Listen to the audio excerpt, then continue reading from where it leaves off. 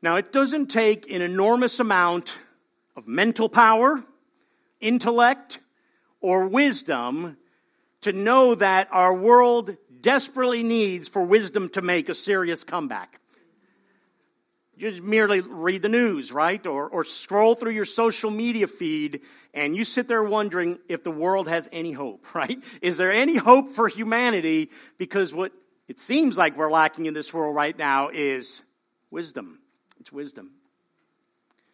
And when God's people talk about wisdom, one of the first things that comes to mind is the book of Proverbs, right?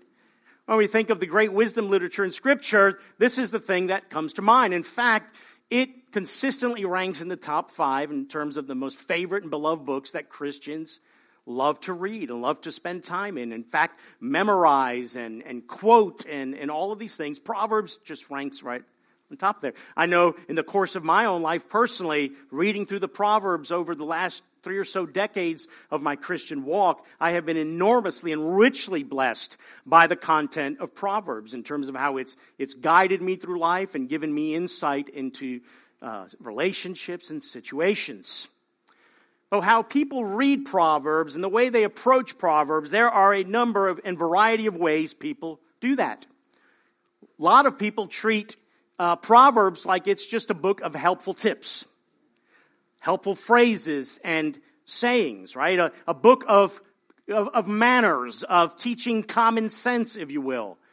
Or a book that kind of generally dispenses wisdom like a Dr. Phil or a Dave Ramsey on finance. And for the older ones among us, like Dear Abby, you know, I don't even, she's probably not alive to this day, but there are a number of copycats there, right? Wherever she is, right? But, but is that how we're supposed to read Proverbs. Is, is, the, is the Bible, is Proverbs here like the biblical version of Twitter? Just in how many condensed characters can we get a truth out or a truism out? Some read Proverbs like it's a fortune cookie. Let's crack it open and see what it says. Now, be honest with me, some of you like fortune cookies because it's got the lotto numbers on the back. But Proverbs isn't like that, right? People love to memorize and quote Proverbs, right? We all probably have our favorite Proverbs. Like Betsa read one of my favorite ones today from Proverbs chapter 3, right? It's probably one of the first scriptures that I memorized as a young Christian. Right? Trust in the Lord with all your heart, lean not into your understandings, acknowledge the Lord in all your ways, and He'll do what? Direct your steps, guide your paths, right? We all have favorite Proverbs. I know parents love Proverbs 22 15. Folly is bound up in the heart of a child, but what? The rod of correction right, drives it far from them, right? You all have your favorite Proverbs, right? But why are we going to personally study Proverbs? How are we going to approach Proverbs and look at it? So I'm going to give you just a few brief reasons why that is, though there are many. The first is it's because it's God's Word. Plain and simple.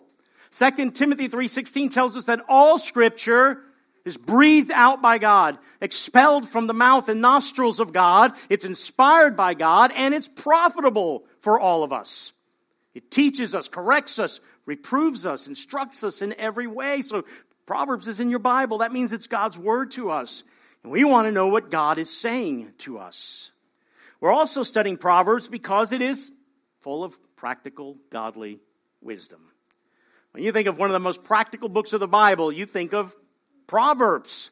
I mean, there's, we just finished a year long study in Revelation, one of the most difficult books to comprehend, understand, make sense of, right? And so we think of books like that. We think of Leviticus and we're like, what is all that about?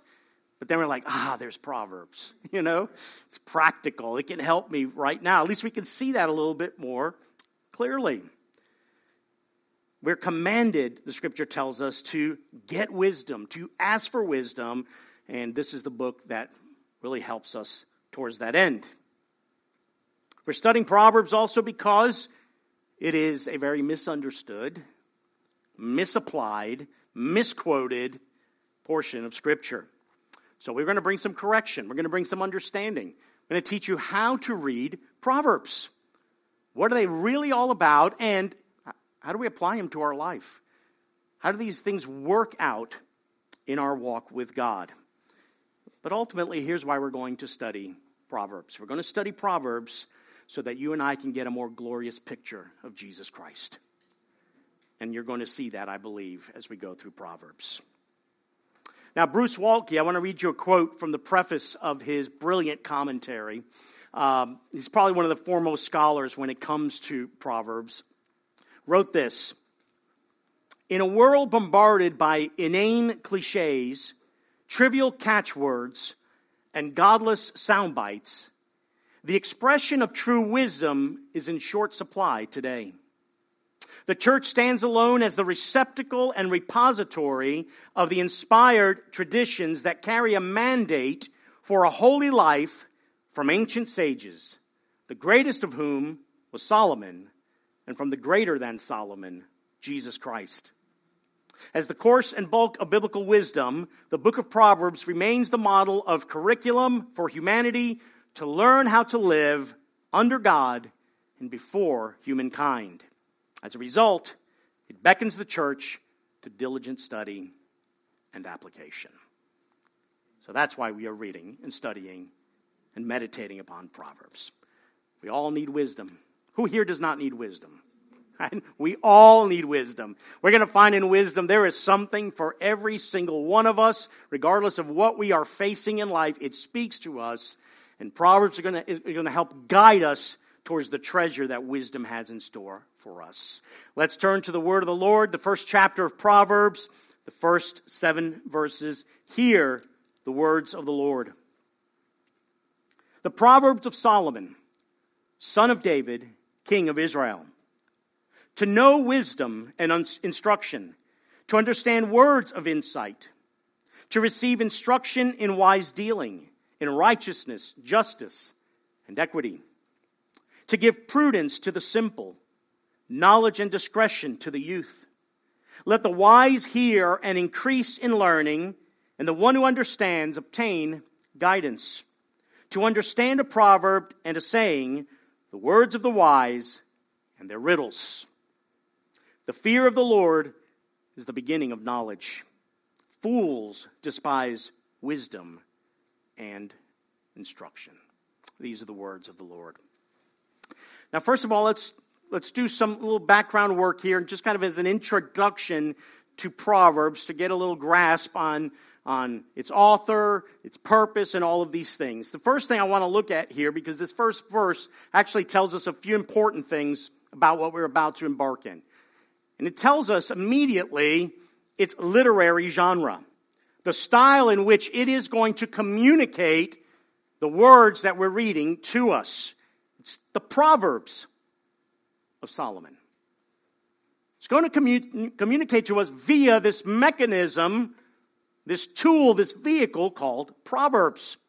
And Proverbs itself, as a book, falls under the biblical category of wisdom literature, also called poetic literature of Scripture.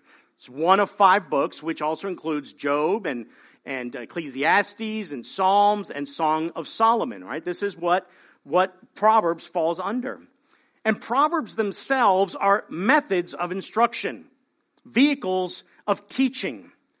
Now, when we think of Proverbs, we, we do think of like these short, pithy statements generally universally accepted truths that most people would consider uh, truisms, right? And, we, and they're done in a very concise, portable, you know, fashion for us to explain truth. Like you know some of these as it is, and you can finish them off if you know them. All that glitters is not. Beggars can't be. Actions speak louder than. Don't judge a book by its. Honesty is the best. Yeah, see? universally accepted, you know, short, pithy statements, truth, portable truth here that we take. But is that what Proverbs are? Is that the same thing that we're looking at? Maybe, we'll see. The Hebrew noun that we translate as proverb is the Hebrew word mashal. Okay? It means wisdom sayings. It's used that way in Scripture or, or just of sayings in general. Uh, but they convey, the word conveys the sense of a condensed, memorable saying embodying some important fact of experience, that is generally taken to be true by most people. Proverbs are wisdom sayings themselves. But that noun is related to another Hebrew word that means to represent or to be like. So a proverb is then a verbal representation.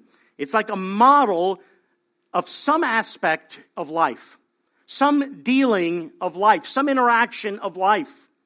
A biblical uh, proverb is something that is meant to be pondered, mulled over, meditated upon, turned around, to be seen by different angles because it reflects something about our lives before we actually experience the thing. Proverbs beckon us to learn before we live, right? The world's motto is live and learn, right? Experience is the best teacher. Is that really what the scripture teaches us, though? No, that the scripture beckons us to learn and then live. God's word is to instruct us. God's truth is to instruct our life, and then we live our life out of that particular truth. You know, I think about when I was teaching Ariel to drive. Now, and when you taught your child to drive, did you just throw him behind the wheel of the car and say, get to it? Live and learn, you know? Experience is the best teacher. Best to throw you in the deep end. No, what I do? I took her to a, I took her to an empty mall parking lot. Not a vehicle in sight, buildings as far away, you know, as, as can be, so I can let her begin to experience what it is like to be behind the wheel of a car and navigate it and drive it. Then she got some mastery. We got on the road with other cars. And by God's grace, she's not hit any there, and I trust that she never will, right? But that's, that's what we do, right? We don't just, we don't just tell them go live and figure it out. That's not going to lead to success generally. Proverbs, in a sense, are like virtual reality. They allow us to look at and explore real life situations and experiences and know how in advance we are to act and respond and know what to expect before we actually take the action. Proverbs are like a flight simulator. Imagine we just threw pilots right into the cop- cockpit of the airplane and go take off. Right? No, right? I'd rather our pilots in training crash in that flight simulator before they do so in the side of a mountain in real life. These wisdom sayings give us a glimpse of real life so that you and I can begin to order our life accordingly to God's way, so that it will lead to the right path and general success in life. Number two, let's look at the declared author there that is stated in verse 1. They are the Proverbs of Solomon, son of David, king of Israel. Now, the Bible clearly tells us Solomon is the author. These are his Proverbs, but as you read Proverbs, you come to realize, well, he's not the only author of Proverbs. There's actually other names mentioned there that of, of their particular Proverbs. Proverbs themselves are a collection of collections, if you will. Okay? There's actually seven collections found in the scriptures that are, are divided by their particular uh, headings. And in, in the worship guide, I have listed those uh, seven verse headings there for you. Okay? There's the general proverbs there in verse 10 and on that are clearly attributed to Solomon himself. They are his proverbs.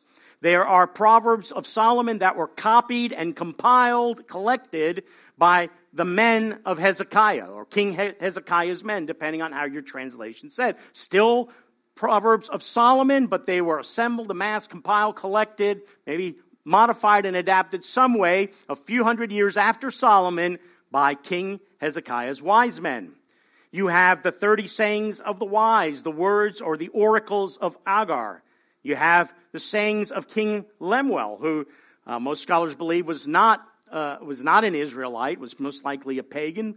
Uh, but we come to find out and understand that in the ancient Near East, uh, this aspect of learning wisdom was a big deal.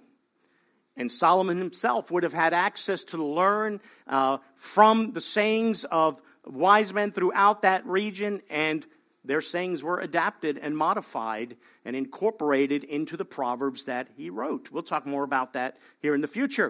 And then there's also the unnamed author of the section we call the Proverbs 31 woman. The ideal woman, right? The perfect woman that every woman aspires to be. Now, You're gonna have, we're going to have fun when we get to Proverbs 31. Right? But that, in a good way, in a good way. But, but that, it's an unnamed author. We don't know who wrote that. We can only speculate. It may have been Solomon. It may have been someone else. All right? So that's what you, that's what you have there. Different authors, but generally attributed to Solomon. Now, this makes it hard to date the writing of the Proverbs because just from that you can see that it spanned several centuries. Hezekiah's reign was around 970 BC. I mean, rather, Solomon's reign began around 970 BC. Uh, King Hezekiah's around 686 to 690 BC. That's a long time. Lots of proverbs, you know. So we don't really exactly know when it was, but this is actually something that was compiled and cataloged the way it is uh, in a more, more much recent date after Hezekiah's reign.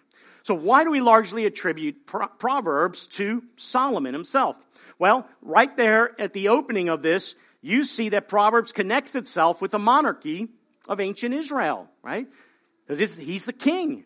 He's the king of Israel. He's David's son. He's David's successor to the throne. In fact, Solomon was the last king to rule over a united Israel. After his reign, this thing went into civil war mode.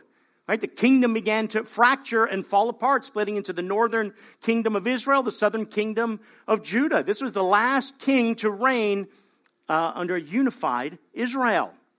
And during Solomon's reign, the kingdom of Israel actually reached its apex in terms of power and glory and influence and wealth and peace and prosperity. It was, by all accounts, the heyday of Israel glorious time. I mean, you, you read the story in First Kings, which I encourage you to do, of Solomon's reign and the kingdom of Israel during that time. You'll see that's, that's as good as it got from an earthly perspective. Solomon is largely presented as a good king when you read about him in First Kings, uh, and, and presiding over a great kingdom. He established a great kingdom. So Solomon is the person that the Bible sets forth as the greatest sage the wisest person that has ever lived, that has ever walked this earth. Let's read a, a portion here from 1 Kings chapter 4, 29 through 34, where the Lord says, And God gave Solomon wisdom and understanding beyond measure, and breadth of mind like the sand of the seashore, so that Solomon's wisdom surpassed the wisdom of all the people of the east and all the wisdom of Egypt. For he was wiser than all other wise men, wiser than Ethan the Ezrahite, and Heman, master of the universe, Calcol, and Darda, the sons of Mahol. And look, his fame was in all the surrounding nations. Think about the, the spread of his fame and influence. He also spoke 3,000 proverbs, and his songs were 1,005. He spoke of trees from the cedar that is in Lebanon to the hyssop that grows out of the wall. He spoke also of beasts and of birds and of reptiles and of fish. And people of all nations came to hear the wisdom of Solomon and from all the kings of the earth who had heard of his wisdom. It's phenomenal. But the most important thing is that, that first verse we read, and God gave Solomon wisdom and understanding beyond measure. The source of Solomon's wisdom was not innate, was not natural, was not something he was born with or something that he learned. It was given to him by God. It was given to him by the Lord. And the scripture makes that clear over and over again. When you read 1 Kings 3, you'll see that, that Solomon loved the Lord. He, he obeyed and followed the statutes that his father David had instructed him in. And, and one of the things that happens when a king ascends the throne here in Deuteronomy 17, it instructs instructs God's people when a king comes to rule over to you, here's what the king is supposed to do. They are supposed to personally hand write a copy of the law, supervised and approved by the priests. And they are to read that copy of the law day and night. Over and over again. They need to get God's law in their heart. They're to keep it and obey it and to fear the Lord all the days of their life. And that's what it says Solomon did. There's that portion then where he goes to offer sacrifices at Gibeon. And there the Lord puts him to sleep, and in a dream the Lord appears to him and he asks him, What? Ask what I shall give you. Ask what shall I give you. What if God were to ask you that question? How would you respond? Ask what I shall give you. Now, I don't think most of us would ask for some whack stuff or just selfish things. You know, we might ask for general health and the welfare of people or for our kids or, you know, something like that. But what, what, what would we ask? I begin to see here, too, that at, at, when Solomon took, took the throne of Israel, he was probably a teenager. He was young. In fact, when you read that story, he even says to the Lord, I'm a little child. I'm a young man. We don't know how old he was when he took the, throne. Maybe 14, 15, 16? Probably not much older than that. Okay? So, what if God were to ask our teenagers, ask, What shall I give you? In the world, it would be, I want to be, a, I want to be an internet influencer with millions of followers and endorsement deals and sponsorships. Not our teenage, I'm just talking about in general, right? Our teenagers will ask godly things. but, but Solomon's response is truly remarkable. When, when he answers the Lord, he rehearses the goodness of God. He rehearses the faithfulness of God in keeping his covenant promises that were made to his father David. He says he knows he's leading God's chosen people, a people that are vast and numerous according to the promises of the covenant that God made with Abraham. So he recognizes that. He recognizes God's faithfulness. So what does he ask for? 1 Kings 3 9. Give your servant, therefore, an understanding mind to govern your people, that I may discern between good and evil for who is able to govern this, your great people? That is phenomenal. Just as an aside, think about what he asks for there that I may discern between good and evil. Where have we heard that before? Way back in the garden, right? Where our first parents wanted to take for themselves knowledge of, the, of good and evil apart from God. And here he's saying, Give me discernment to know that very same thing that was accessible to Adam and Eve, just not the way they took it. In disobedience, right? But he's asking here for wisdom and discernment and all that. And God grants that to him. And not just that, because he didn't ask for all the selfish things that maybe the rest of us would ask for. He goes, uh, I'm going to give you everything else. Things you didn't even ask for riches and glory. And, and, and if you continue to obey me, you, you'll be on the throne for a long, long time. God then declares that there will be none like him who would come before him and none like him who would come after him. But ultimately, who gets the credit for Solomon's wisdom? God. God gets all of the credit for that. Then immediately following that scene, we get an actual demonstration of this great wisdom that Solomon possesses. Read it there in the last part of 1 Kings 3. We find that the king is holding court and two prostitutes present themselves before the king. One is bringing up charges against the, uh, against the other person. We find out these two prostitutes, they lived uh, in the same house and they all, both gave birth around the same time. So they both had newborn babies. And then sometime during the night, the one accuses that the other one must have rolled over on her baby, suffocating her baby, killing the, her baby, and then in the middle of the night tipped over, tiptoed over to the other lady's room and took her living baby and swapped, swapped the baby. Now, she wakes up the next morning to find what she thought was her baby dead. But mamas know their babies, don't they? Mamas know how their babies smell. They certainly, hopefully, can tell how they look, can tell them apart and says, This is not my baby. And she finds her baby in the bosom of the other woman. So this is why they're here. Of course, the other woman is denying it. And it's very clear the first woman who's bringing the charges says, No one else saw this happen. We were alone in the house. That presents a big dilemma. Who is telling the truth here? Who's telling the truth? Now, what's Solomon going to do with this? He's the king, right? His word is the final word. He's to render judgment and render justice for the aggrieved party if he indeed determines the right course of action here. Well, he can't order a DNA test, can he? Most likely they had not taken baby pictures yet. Right? Little, little baby wrapped up in a little shell or something. Those little cute little baby. So nobody could tell whose baby whose baby at this particular uh, uh, uh, uh, this particular moment here. And again, there's no witnesses that could be called. What is he to do?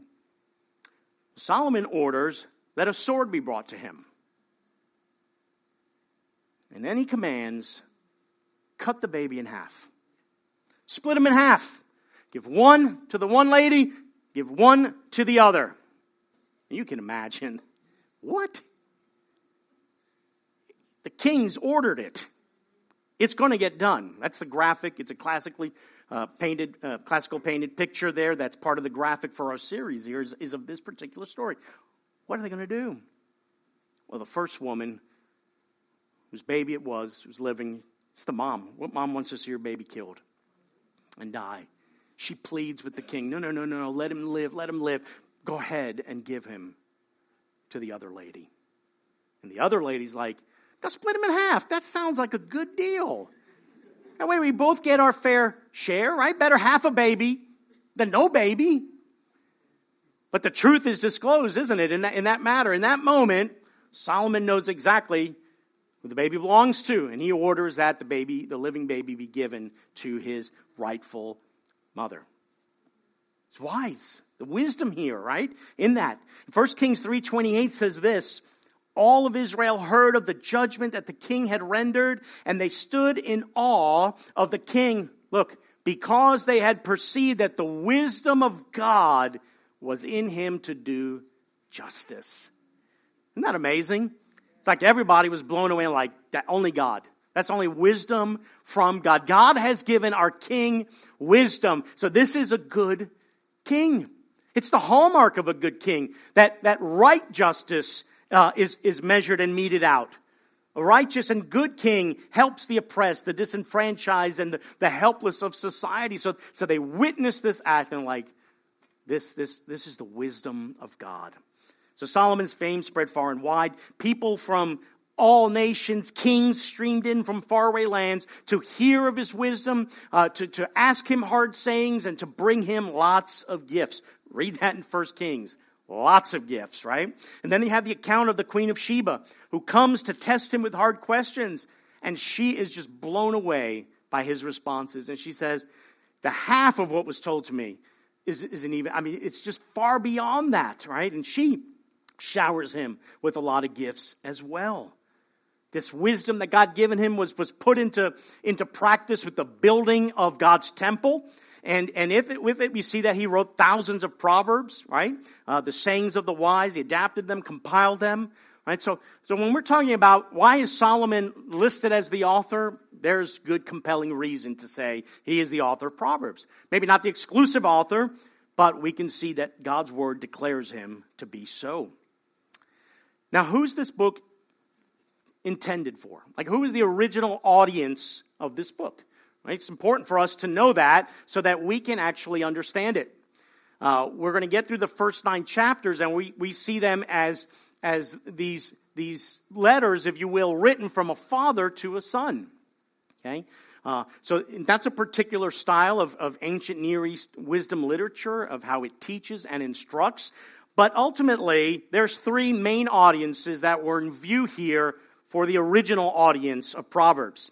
The first you might not realize, but ultimately it was for the courtiers in training. Those who would be part of the royal court. There is a ton of instruction in Proverbs. You're like, how to behave in, before the king and before the, you're, when you're in the palace and all of these things. And you're like, why is that even in there? Well, because this is what a lot of these proverbs were written for for those who served in the palace of the king so they knew how to behave before the king if you didn't behave rightly before the king it would not go well with you in the land, right? Uh, secondly, it was written for the youth of Israel. Proverbs are a manual for the training of young people. The exhortations, the instructions, the teachings are all geared to give sound knowledge and instruction and insight to the youth, those who would benefit the most from it. Why? Well, God's Word instructs us to train up the young people, but they're the, they're the ones who have the least experience in life. They are still in development, right? And this would be a way to begin to mold and shape their lives in the way of wisdom, in the path of wisdom, so that they would avoid folly and pursue the way of wisdom. So I want to encourage our young people here as well to begin to get into the book of Proverbs, to read it and study and learn from it and memorize it and take it into your heart so that it can direct your path. Lastly, it is for all of God's people. Okay?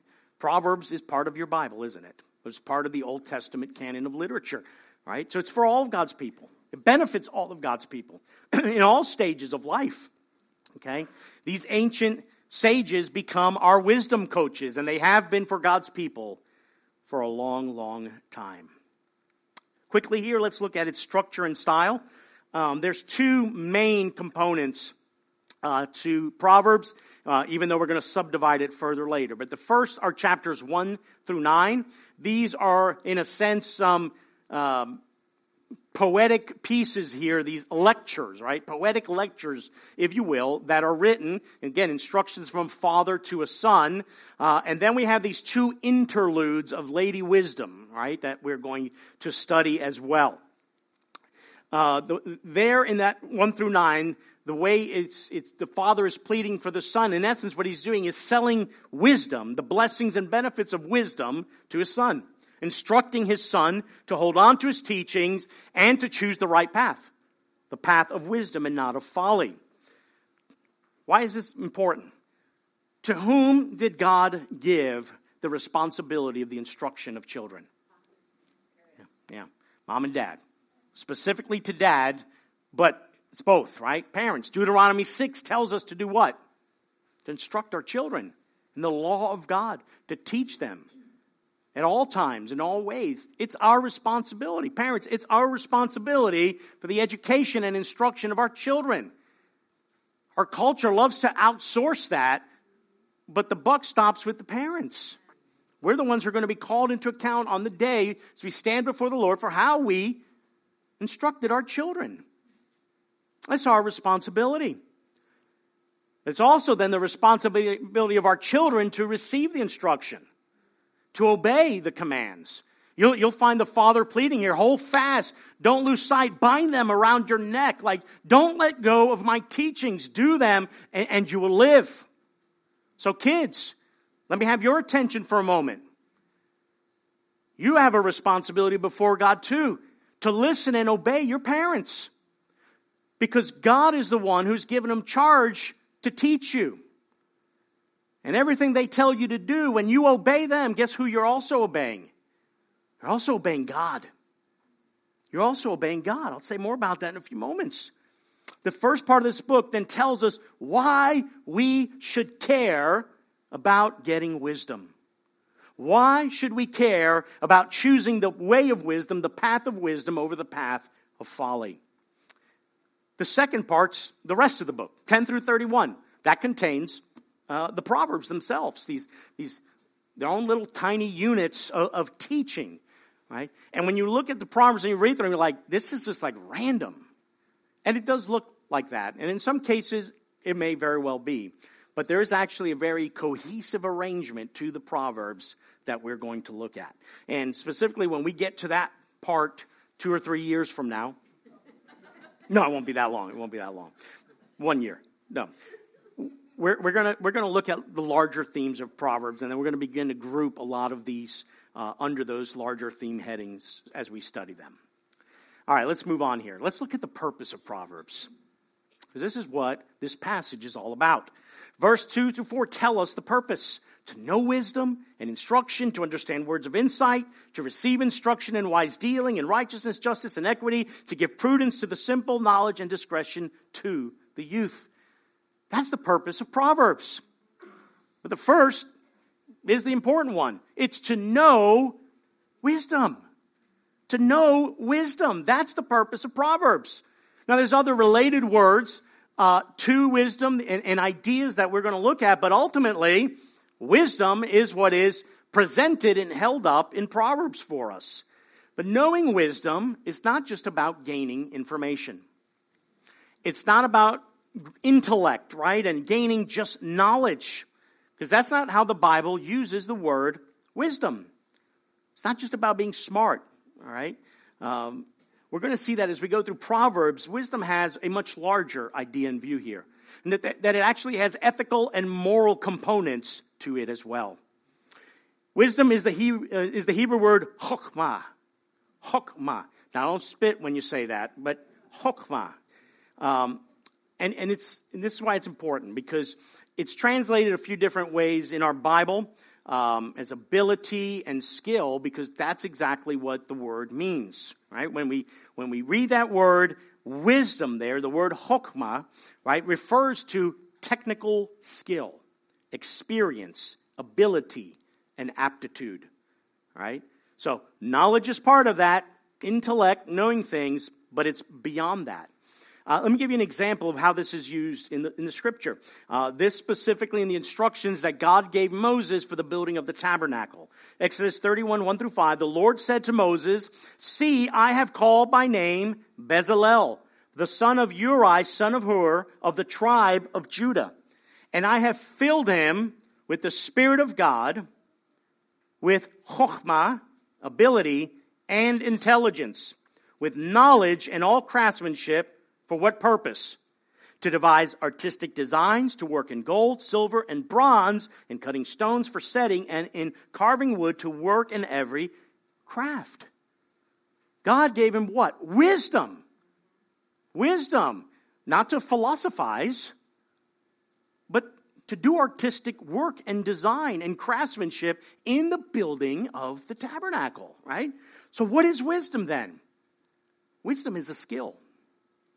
Wisdom is the skill. We could actually call it the skill of living life. So we can define wisdom then as the skill of living rightly. It's taking knowledge and instruction and insight and knowing how to skillfully apply it in all of life. That's how wisdom is seen in view here in the scripture here. It's not just about getting knowledge.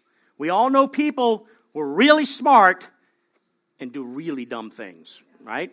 So wisdom is not just about, oh, I know all of these things, right? It's, it's beyond that, right? The skill of wisdom applies to all of life. Our decision making, how we speak, how we conduct ourselves in various settings, how we relate to others, how we raise our children, how we navigate marriage, how we view and perceive the world. Why do we need biblical wisdom so that we can rightly understand the world, perceive it, and act orderly and according to God's word and ways. We need wisdom for that, and that is a skill. Secondly, it's to know instruction, which is, uh, in some of your translations, also seen as discipline or correction. Discipline. That's the word there. To know discipline. Now, discipline carries with itself the threat of punishment or the application uh, of punishment or correction if it's not obeyed, right? But what is the purpose of discipline? Is it just to beat our children? To hurt them? Don't say yes. I have a obligation then to report you. Now, there's a purpose to discipline, isn't it? It's to teach them the right way to live, isn't it? Ultimately, we don't correct our children, hopefully, when they do things right. It's when they do things in the wrong way or they're going down the wrong path, right? A rebellious child, right? And we discipline them rather and we punish them because we know a very important truth. The way a child responds to their parents is the way that they are going to respond to God. And a child who is rebellious and disobedient and is not disciplined is not going to obey God. And it will not go well for them. Right? Isn't that the commandment given to us? Honor your father and mother, attachment of the promise, so that it what? Will go well with you in the land. It will not go well with you if you're disobedient to your parents, or dis- ultimately disobedient, disobedient to God. Now, sometimes the punishment can be verbal or physical, but oftentimes that punishment comes naturally because it's the consequence of a person taking the wrong path and disobeying and making foolish decisions. We also, the purpose here is to understand words of insight. Words of insight. What is insight? Insight is the ability to recognize the true nature of a situation. When we say, make a comment like, wow, that person had great insight into that relationship, what they, they're seeing something that most people maybe cannot perceive or see. And insight and this ability to understand words of insight is a key component in the toolbox of wisdom. Because the wise person will know how to speak and how to act appropriately. That's a great problem in our world today. People do not know how to speak and they do not know how to act appropriately. They don't know how to read the room, they don't know how to read people, and they just act the fool. Right? And that's a problem. All right, the purpose of Proverbs is also to receive instruction, and the ESV translates this as wise dealing. I'm not a fan of that translation. The NIV renders it to receive instruction in prudent behavior, or the CSB, prudent instruction. Uh, but in the original language, I think the New Living Translation actually captures this, this translation very, very well here. That is, the purpose of Proverbs is to teach people to live disciplined and successful lives. Disciplined and successful lives. And I think that's a helpful a translation of uh, the difficult Hebrew language here. It's to help us live disciplined and successful lives. But to what end? It's not just success for success sake.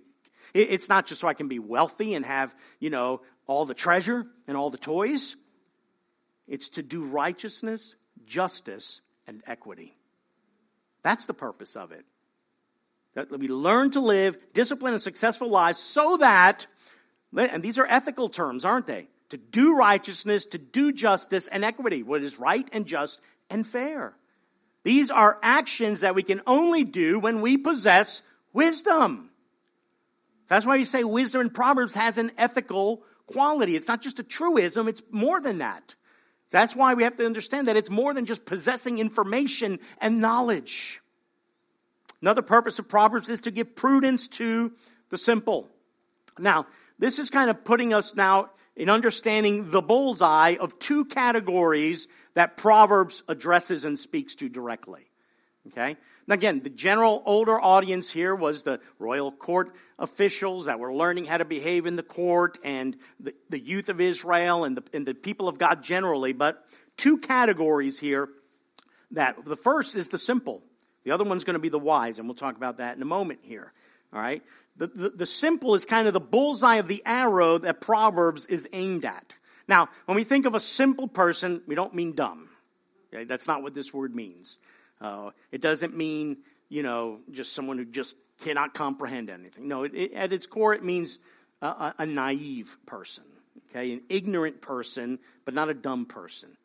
Immature might be a good term to use as well. Uh, it's someone that is not a fool. However, if they're not put onto the right path, can easily be swayed or deceived into going down the wrong path. This is why the book is aimed at young people, right?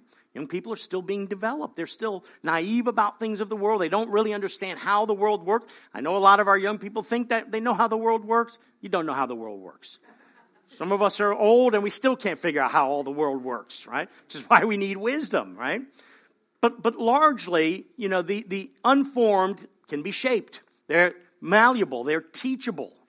Okay? This is why it's important to have a teachable and humble spirit. right? because that puts you in a position to learn wisdom, to get wisdom and grow in insight. Proverbs gives prudence, knowledge, and discretion to the simple. So it develops them as people along the right path. This is why it's important for, our, for to teach our children, to teach our young people, young people wisdom here. Okay, it, it's critical. I mean, when you have this, you can actually make decisions. I think one of the challenges of our days is, is, is, is this decision paralysis. A lot of God's people have that too. I, I got to know the perfect will of God. I, I, don't, I don't know how to know God's will and discern God's will. Well, get wisdom and you'll be able to do that. You'll be able to do that. Okay? And we're going to talk about that in a lot of different examples as we go through this series here. But decisions are going to be able to be made a lot easier when we have wisdom, when we have understanding, when we have insight. And this idea of knowing the perfect will of God is not getting just a specific word. It is that person and not that person. Why? Because wisdom gives us the tools to make right informed decisions. Like, let me blow one out of the water right here. Because this is one I was taught in and I was, when I was young. There is only one right spouse for you in all of the world. There's only one. And if you don't find the right one, you're out of the will of God. That's how I was taught. That was the fear. Like, oh, and so you, yeah, you're actually with someone and you're like, is this the right one? Gotta know God's will. God, give me, put out fleece. God, give me a sign. If I wake up and my laptop's upside down, then she's not from you. But if, but if it's open, uh, you know, then to Proverbs 31, then I know she's from you. But that's how, that's how I was taught. I know a lot of you from that background were probably taught that way. There's only one, and if you miss it, you are so out of the will of God, you've blown it the rest of your life. No, but what does wisdom do? Wisdom, wisdom teaches us God's word. Wisdom helps us to evaluate what are the qualities of an individual that is a godly woman or a godly man, the qualities of life that make them a suitable spouse, life partner, husband, wife. Because God's word teaches us that. So when we come upon a person, and it's not the list that, you know, some young ladies especially make. You gotta be tall, dark, handsome, ripped, make $250,000 a year, uh, you know. No, no, no. Th- these are virtues and qualities that the scripture upholds for us, right? So that we then, as men and women of wisdom, can make decisions that are right. That are right. And generally, when we do that, guess what? Our life is blessed. Right? We're going we're going to get into that later on. Not today, later. Two or three years from now. The purpose of Proverbs also to impart the ability to the wise to interpret Proverbs. This is the second category, right? Proverbs are also for those who are wise already. And if you're wise, you actually get to increase in learning, right? That's the other target on because there's they're mature because they already possess some of the skills of wisdom. When they hear Proverbs and study Proverbs, they actually grow wiser. The wise person is the one who knows when and how to apply a particular proverb. Because here's, here's, the, here's the catch, guys. The Proverbs are context sensitive. They don't always apply in every situation. Like one of the famous one is when to answer the fool.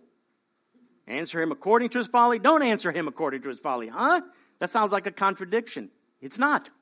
The context, the fool determines whether or not you're going to respond to him according to his own folly to show him the error of his ways. Right? They're context sensitive. And a wise person knows how to uh, uh, interpret and rightly apply the words. Let's get into the theme of Proverbs now here because we're coming to the verse 7 here, and this is the key verse of the whole book. The key of the whole book is verse 7. The fear of the Lord is the beginning of knowledge, also wisdom. It's, this, it's an interchangeable word for this one. Fools despise wisdom and instruction. The fear of the Lord. It's a phrase you're going to see repeated several times uh, in, in, Proverbs. Uh, and it's important because, you know, I, I, I, was reading through some online articles and different things people have written about Proverbs and, and even some, some scholars who said, you know, it's probably not good for churches to teach through the book of Proverbs because it doesn't really have any theological or doctrinal teaching. Like the law of God is not explicitly stated in Proverbs. And that's true from that perspective. Uh, but here's why I disagree with that. And it's right there in the phrase, the fear of the Lord. If you look in your Bible, and depending on which translation you're reading, that word Lord could either say Yahweh or Lord if it's in um, if it's in title case in your translation, that is the covenant name of the Lord. This isn't the general term God, label God, category God, Elohim. It's the covenant name of God. to who does the covenant name of God belong to? It's to the covenant people of God. That's whom God revealed himself as I am to, to his people. And Proverbs exclusively uses the covenant name of God, of Yahweh, of I am. So this is why this verse is the theological foundation of this book. It is written exclusively for a covenant people. It is written exclusively for a people who are in relationship with I am. And apart from a relationship with I am, you cannot truly know wisdom. You cannot truly be wise because there is no wisdom without God. Now, there might be some of you here who kind of push back a little bit. Oh, there's a lot of wise people in this world. Yeah, there's earthly wisdom. Yeah, there are people who have a general, they can look at things from a, from a natural perspective and make observations in the world. That's what a lot of these, these ancient sages did. They observed things in the world and made these, these statements about them and, and some of them are generally true. But the wisdom we've just been talking about can only come from God. And can only come to a people who are in relationship with God. Because it's not a natural quality. It is not something you're born with. It is God given. And it's the fear of the Lord that is the beginning of this knowledge. Again, wisdom is the interchangeable term. The bookend verse of this at the end of this first section in chapter 9:10 says, "The fear of the Lord is the beginning of wisdom, and the knowledge of the Holy One is insight." It's insight. Now, this word beginning doesn't mean the starting line of wisdom, right? Like this is step one. If the fear of the Lord is the beginning, it start. That's not what it means, right? When it talks about beginning, it's talking about the essence of wisdom, right? The, the sum of what it means to have wisdom is embodied in the fear of the Lord. A person who is in right relationship to Yahweh. Now, fear here, of course, does not mean to be afraid. We're not afraid of God like we're afraid of spiders and snakes and other things. Fear the Lord in the scripture, it's very clear, right? It's having a right view of who God is, a reverence for the holiness and perfection of God, a reverential awe of God, a recognition of his supremacy and might and majesty and glory. So a person who fears the Lord is a person that is in right relationship with him.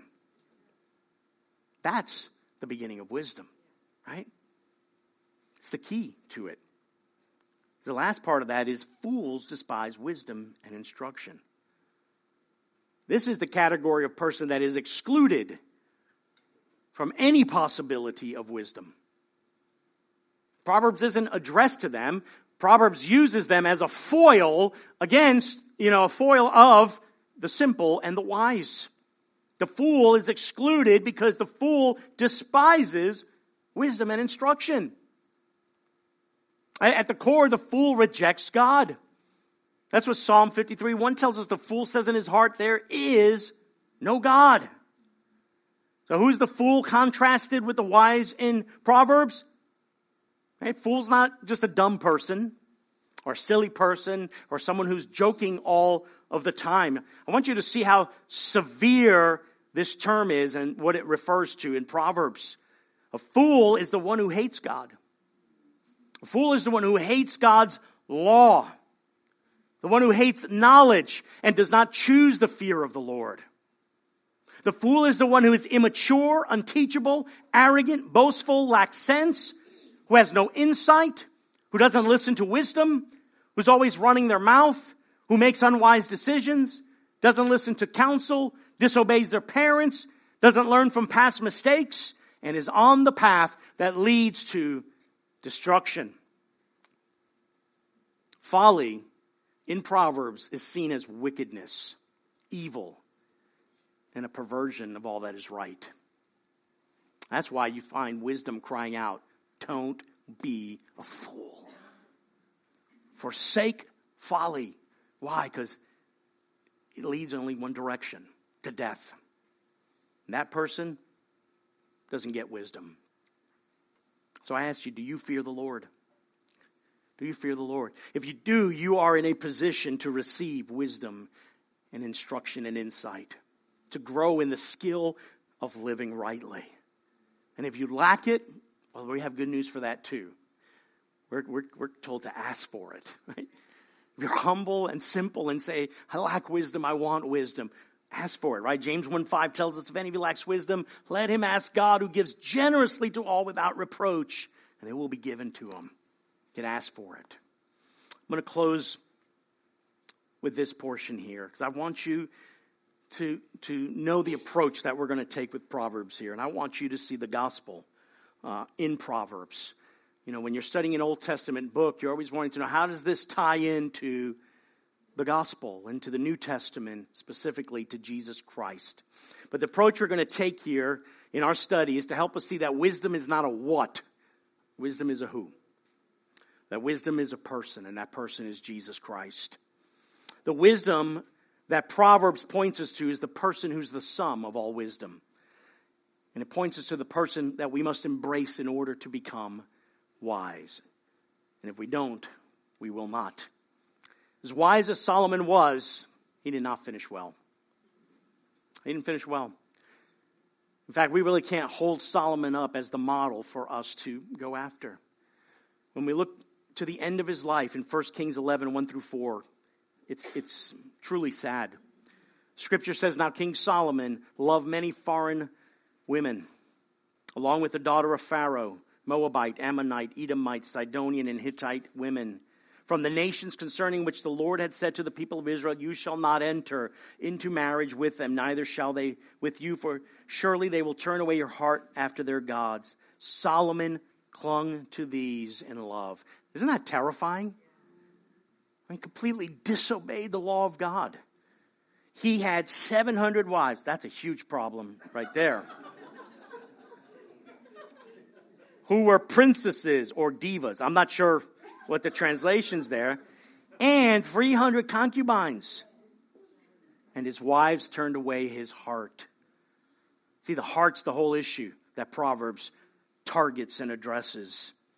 For when Solomon was old, his wives turned away his heart after other gods, and his heart was not wholly true to the Lord his God, as was the heart of David his father. It's horrible. I mean, when you think about how the scripture puts him forth as the wisest man who ever lives, and the end of his life, what was that wisdom for? It's terrible. The story of Solomon created a longing in the heart of God's people for a king who was not only wise, but a king who would always be and remain faithful to the Lord. So we have the promises of Scripture, like in Isaiah 11, a prophecy of the one who would come from the righteous branch of the root of Jesse, who would be the, the deliverer, the Messiah, the promised son of David. He'd be the real fulfillment. See, in one way, Solomon was the partial fulfillment of the covenant promises God made to David that he would have a son on his throne, but he is not the ultimate fulfillment of the son whose reign would be eternal and forever. And Isaiah 11, 2, 1, uh, 2, 2 through 5 says, And the Spirit of the Lord shall rest upon him, the Spirit of wisdom and understanding, the Spirit of counsel and might, the Spirit of knowledge and the fear of the Lord and his delight shall be in the fear of the Lord. He shall not judge by what his eyes see, or decide disputes by what his ears hear, but with righteousness he shall judge the poor, and decide with equity for the meek of the earth, and he shall strike the earth with the rod of his mouth, and with the breath of his lips he shall kill the wicked. Righteousness shall be the belt of his waist, and faithfulness the belt of his loins. Do you see the similarity in language there between our passage in Proverbs and this prophecy of, of, of, the promised king and son of David? The same words wisdom, understanding, knowledge, the fear of the Lord, righteousness, justice, and equity. This king, this son of David, will be faithful. He will judge righteously in righteousness and in equity. He is the fulfillment of that prophecy. In the incarnation, Wisdom stepped into this world. Wisdom stepped foot into this world. He took on flesh and tabernacled with his people. Luke 2 tells us as, as Jesus grew, he grew in wisdom and stature with both God and man. He is like the, the, the son that the father is pleading with in Proverbs. He's the one actually fulfilling this and walking it out. Jesus himself declared that he is the better Solomon, the better king, the true fulfillment of the covenant promises. When the religious leaders sought to test him and, and demanded a sign from him to prove that he was who he said he was, he rebukes them. He rebukes them because they, they don't have a teachable and humble heart to see who it is that is standing before them. And he says in Matthew 12, 42, the queen of the south, which is the queen of Sheba, will rise up at the judgment with this generation and condemn it, for she came from the ends of the earth to hear the wisdom of Solomon, and behold, something greater than Solomon is here. Think about that. Proverbs created this prophetic expectation in God's people for a son who fulfills the book. And then we have Jesus just the embodiment of the book. He's the ideal king, he is the faithful son. And he is the one you and I need to have a relationship with in order to be wise. We will not have wisdom without that. Amen. So it's not a surprise, brothers and sisters, when we read in the New Testament that Christ is the wisdom of God that he's the wisdom from God, and that in him are hidden all of the treasures of wisdom and knowledge. So we can't know wisdom apart from him, brothers and sisters. To know Christ is to know wisdom. And to know wisdom is to know Christ.